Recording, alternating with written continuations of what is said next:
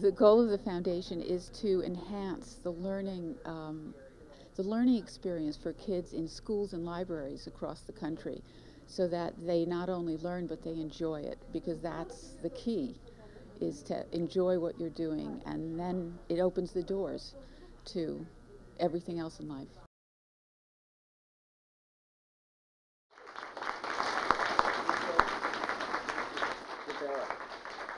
It shows that, that the book is not dying, that the written word is not dying, that we continue to, to be inspired by the world around us. And these kids show us the wonder that remains in each generation.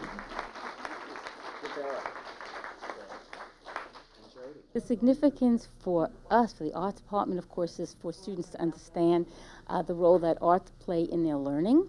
We want them to actually experience what it's like to be an author and an illustrator because we do hope that some of our students will go on and do that.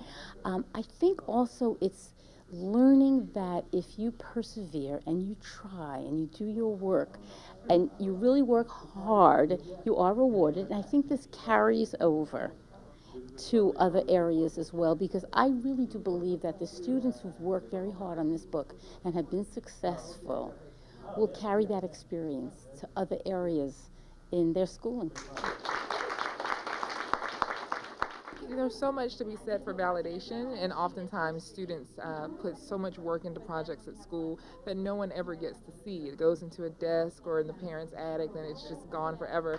So to have an award and have a ceremony and have people say, "Well done," you know, you have what it takes to be uh, professional at this one day. I think that's the thing that will inspire them to keep going and keep making things and sharing their stories with the world.